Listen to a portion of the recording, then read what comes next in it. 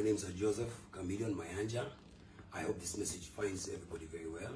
First and foremost, I want to thank you, my fans, friends, and the whole country, the whole continent for supporting Legend Gwanga Mujje, the long-awaited concert that we enjoyed last weekend.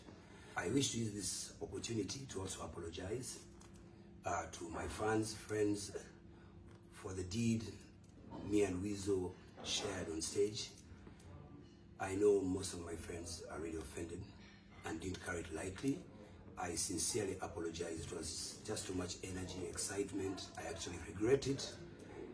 The energy was so high and it was just a wrong way to share it with Weasel, my brother, and I also apologize on behalf of him. Thank you so much for accepting my apologies.